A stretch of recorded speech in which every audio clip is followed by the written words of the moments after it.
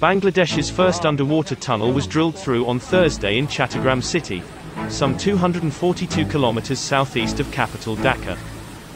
Upon its completion, the 9.3 kilometers long Bangabandhu Sheikh Mujibur Rahman Tunnel project will link the east and west bank of the Karnafuli River.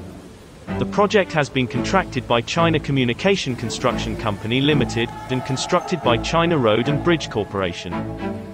China-developed shield tunneling machine has been used to assist with the river tunneling project.